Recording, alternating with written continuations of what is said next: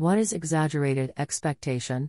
The tendency to expect or predict more extreme outcomes than those outcomes that actually happen. Example We imagine scenarios that are exaggerated to make sure we are prepared for anything. Similar to loss aversion. Want to learn more about cognitive biases? Some book recommendations The Art of Thinking Clearly by Rolf Dobelli, Thinking Fast and Slow by Daniel Kahneman. Freakonomics by Stephen D. Levitt and Stephen J. Dubner. More on mycognitivebiases.com.